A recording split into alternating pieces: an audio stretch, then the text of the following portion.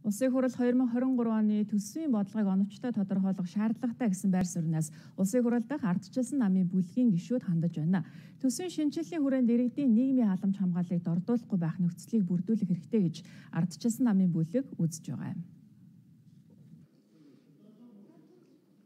Ардчилсан намын бүлэг бол энэ төрийн захиргааны албаа хаагчид, ТЭВ-гийн албаа хаагчдын цалин хангамж, энэ инфляц, үнийн өсөлт За тэгээд одоо валютын өсөлттэй холбоотойгоор амьдралд нь хөрөхгүй байна гэдэг энэ асуудлыг бол маш одоо олон удаа тавьсан. За тэгээд энэ удаагийн төсөвдөр бол ялангуяа энэ орон нутагт ажиллаж байгаа төрийн захиргааны албаа агчдын цалинг 100% нэмэх ийм боломжийг энэ төсвөөр нээнэ.